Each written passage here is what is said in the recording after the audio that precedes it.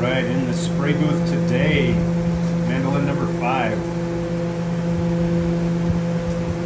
Getting its final coats of polyurethane over top of the tobacco sunburst.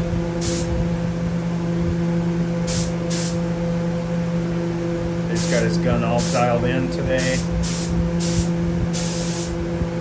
He's got a couple of coats on double neck Mando guitar already.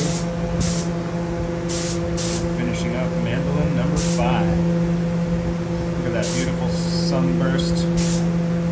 Really dig the color on this one. Sunburst is looking good.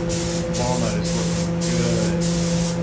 Tonedevil Guitars. Check us out, tonedevilguitars.com if you're interested in instruments. You can buy some awesome music, harp guitar music on there.